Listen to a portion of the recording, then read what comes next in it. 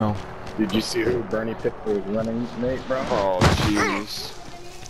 Dude, you want to talk about somebody that is corrupt and Mm-hmm. dude, her, when she was DA, how many people she put in jail? Preparation is done. Now you.